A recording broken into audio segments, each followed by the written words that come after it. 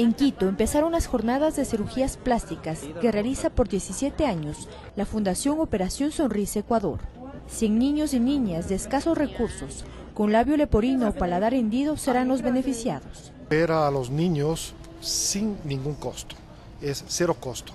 Y eso gracias al corazón de nuestros voluntarios. Las madres de familia siempre agradecidas ven a estas operaciones como una oportunidad para mejorar la calidad de vida de sus hijos pero aquí nos dan otra expectativa, o sea, nos dan otra, otra esperanza de que sí va a poder eh, cerrarse su paladar. Oh, maravillosa, muy buena, le cuento.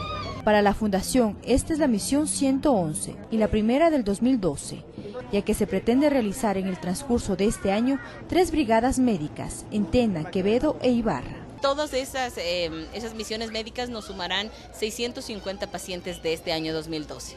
Los médicos que participan de estas cirugías son ecuatorianos voluntarios, que paulatinamente se han especializado en estos temas para brindar su ayuda.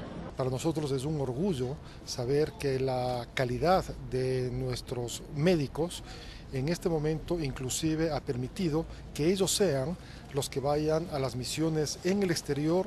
Del 1 al 3 de marzo se realizan las intervenciones quirúrgicas con el auspicio de la Fundación Operación Sonrisa Ecuador y el Hospital San Francisco del Instituto Nacional de Seguridad Social. Alejandra Basantes, Ecuador TV, su televisión pública.